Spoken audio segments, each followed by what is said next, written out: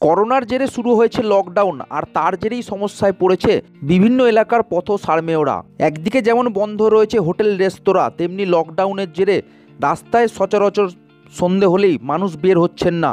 এবার পথ সারমেয়দের কথা ভেবে খাবারের ব্যবস্থা করলেন গোলসির বিধায়ক। গোলসির বিধায়ক অলোক কুমার মাঝি পানাগড়ের বিভিন্ন মোড়ে এদিন পথ সারমেয়দের জন্য খাবারের ব্যবস্থা করে নিজেই তাদের খাওয়ালেন। দুস্থ মানুষদের খাবার বিলির পাশাপাশি পথ সারমেয়রা যাতে অভুক্ত না থাকে সেই জন্য তিনি এলাকাবাসীর কাছে আবেদন রেখেছেন।